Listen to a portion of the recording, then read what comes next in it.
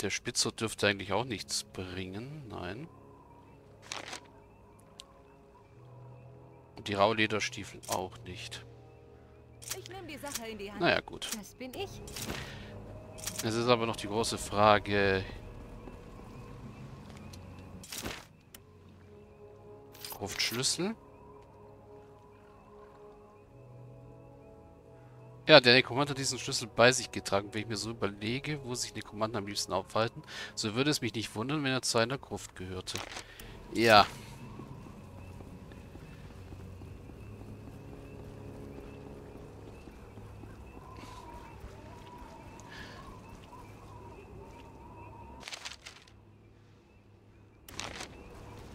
Alles klar. So, das heißt, wir sammeln jetzt erst einmal hier noch die Pflanzen ein. Dann geht's zu der Gruft, die Wird gemacht. Hesinde-Geweihte bef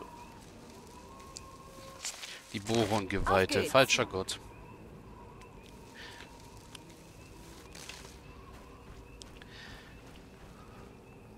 So, Zunderschwamm noch.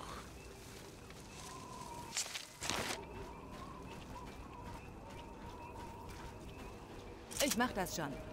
Dum-di-dum. Ja, noch etwas Würselkraut hier.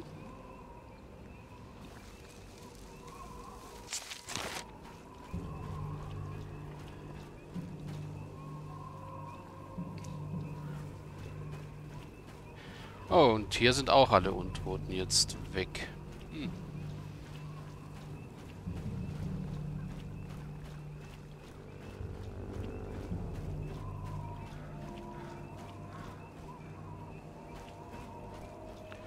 Wie praktisch. Schon geschehen.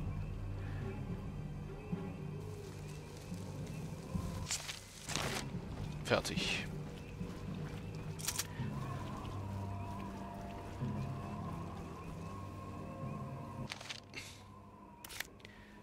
Ja, Segen eines Magiers. Hoffentlich hat sich mit dem Tod des Nekromanten die Population der Untoten auf ein normales Maß reduziert. Nachdem der Nekromant beseitigt wurde, sollte ich sollte Rakorium davon erfahren. Ja, das können wir nachher machen. Hm, Laufe ich richtig überhaupt? Ne, untenrum ist es einfacher.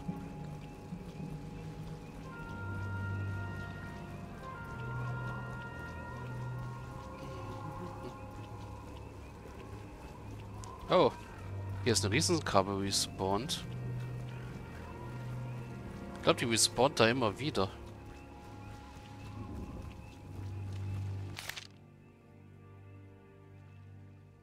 Bei den drei Tannen.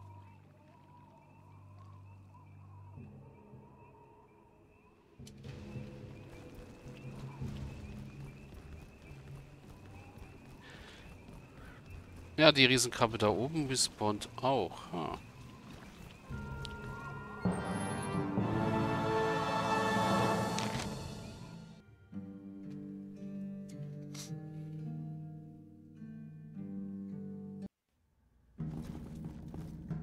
So, so, also habt ihr mich hier eingeschlossen.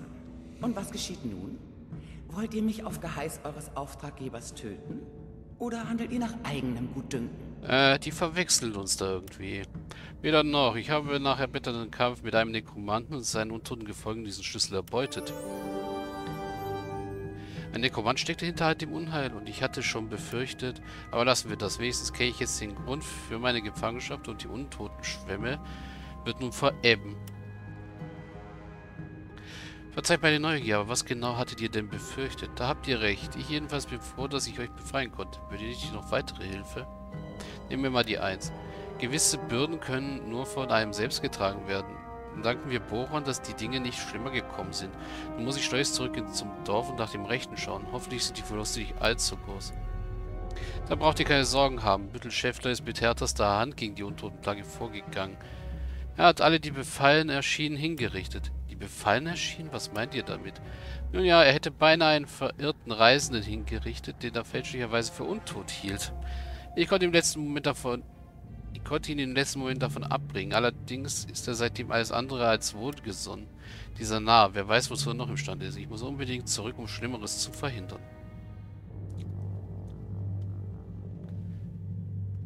Bevor ihr geht, zwar hatte dieser Kommand den Auftrag erteilt, euch einzusperren zu lassen, doch ausgeführt haben ihn zwei Grabräuber. Ihre Namen sind Traschstein und Kiesel. Traschstein und Kiesel, die beiden waren schon immer schwierige gesehen, aber dass sie so weit gehen würden? Seid ihr wirklich sicher, dass es die beiden waren? Absolut, einer der beiden hat, es, hat sich mir anvertraut. Es scheint, als habe dieser Nekromant ihnen mit dem Tode gedroht. Also gut, ich glaube euch, allerdings ist, es, ist, es, ist dies jetzt nicht von allzu großem Belang. Um die Lotterbuben kümmere ich mich später, nun rasch ins Dorf. Eines noch, ich habe sie überzeugen können, mit der Räuberei aufzuhören. Als Zeichen der Reue haben sie mir ihre restliche Beute überlassen.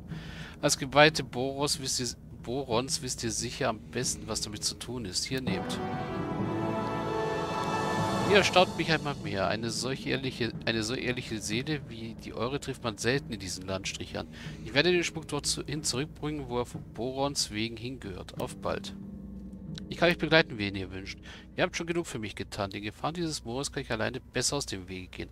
Auf bald. Möge Boron eure, edlen, eure edle Seele schützen.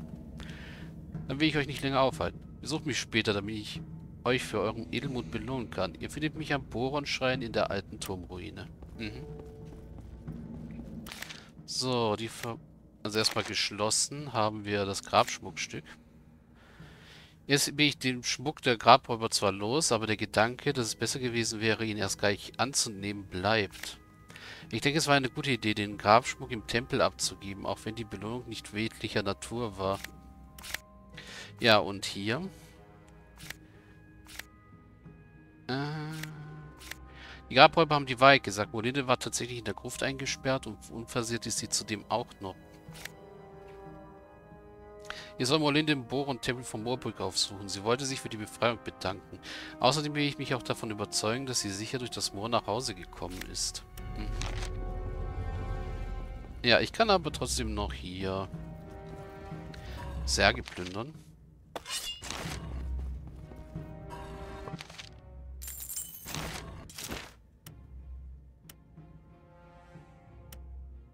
Dumm die dumm. Das bin ich. Ja, die Zauberer-Sachen können wir verkaufen.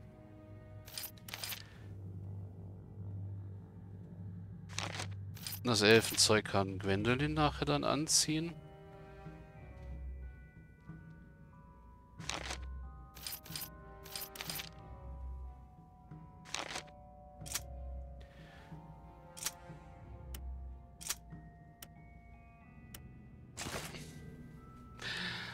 Auch wenn Gladys dadurch einen ordentlichen Charisma-Bonus kriegen würde.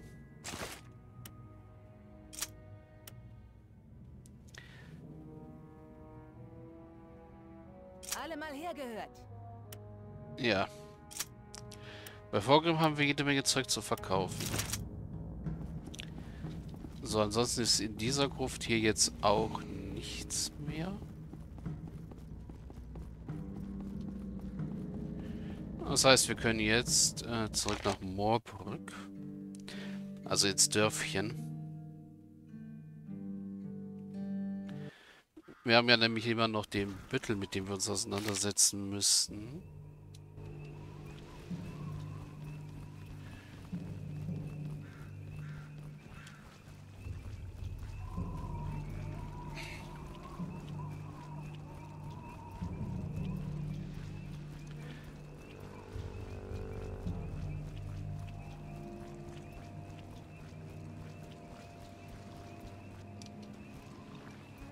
bin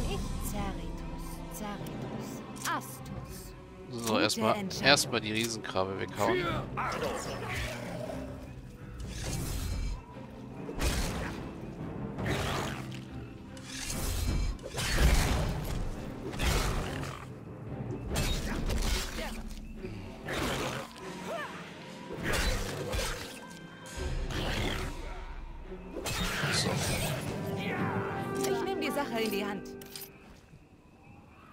Folgt mir.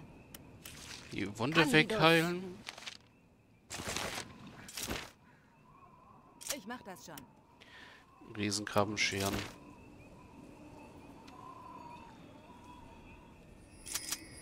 So.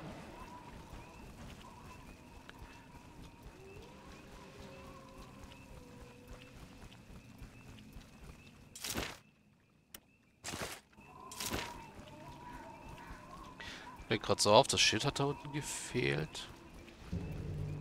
So, jetzt dürfte gleich wieder der Büttel kommen, genau. Habt ihr allen Ernstes? Boron zum Gruße, die Herrschaften. Was hat dieser Auflauf zu bedeuten? Genau, das wollte ich eigentlich erreichen. Unsere gute Morlinde. Habt ihr tatsächlich zu uns zurückgefunden? Wir waren schon in Sorge um euch. Ich habe einen Rettungstrupp zusammengestellt und wollte gerade nach euch suchen. Bitte, Schäffler. Ihr wart doch sonst nie besorgt um jemanden. Seid ihr auf eure alten Tage nun doch noch milde geworden? Oder durchkreuze ich wieder einmal eine eurer durchschaubaren Machenschaften?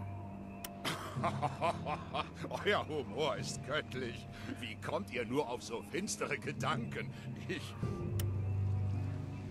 Guter Büttel, ihr seid so erschreckend leicht durchschaubar für jeden, der etwas Verstand beisammen hat. Wir werden später noch darüber sprechen. Jetzt geht wieder eurem Tagewerk nach. Das gilt auch für euch, werte Moorbrücker. Ihr habt unsere Geweihte gehört. Der Rettungstrupp ist nicht mehr vonnöten. Also trollt euch. Ein Augenblick. Stimmt es, dass sie hinter der Entführung Molinde steckt und ferner mitverantwortlich für die... Was? Was sagt ihr da? Ihr habt schon verstanden. Mehrere Leute bezeugen euch mit dem Nekromanten gesehen zu haben. Sogar er höchst selbst hat eure Komplizenschaft. Ihr Maden habt zum letzten Mal meine Pläne durchkreuzt. Sterbt alle. Okay. Er ist jetzt richtig angepisst und greift einfach seine eigenen Leute an.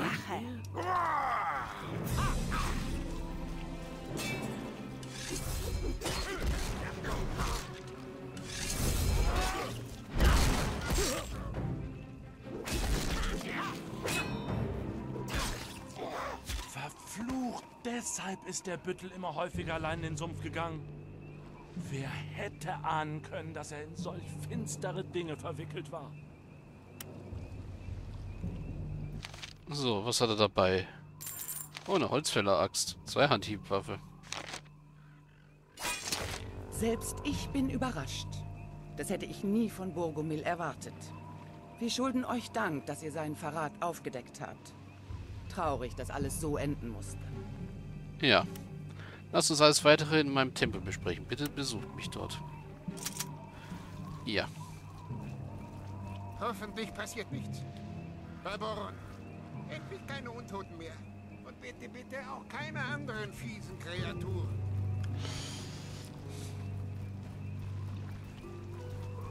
So. Das heißt, jetzt geht's erstmal zu Bredo. Der ja hoffentlich immer noch da hinten versteckt ist.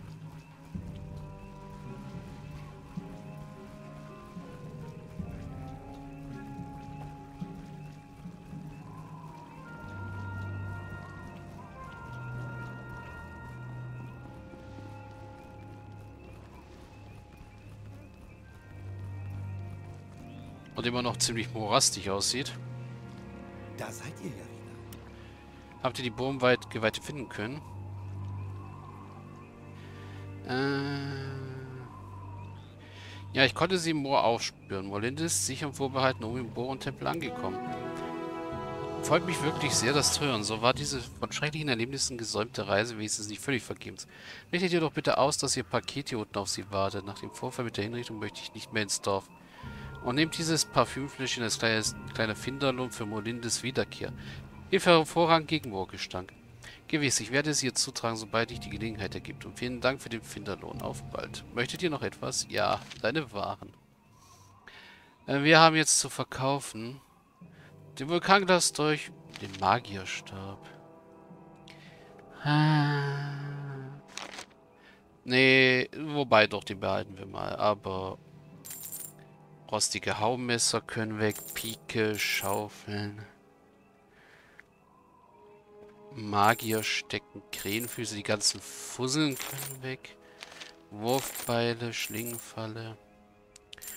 Messer und Wurfdolche, Mausefall, blutige Beile, die ganzen Pfeifen. Die Riesenkrabben, Scheren, Messer, Flachmann, Spitzhacke. Wolfsrattenschwänze.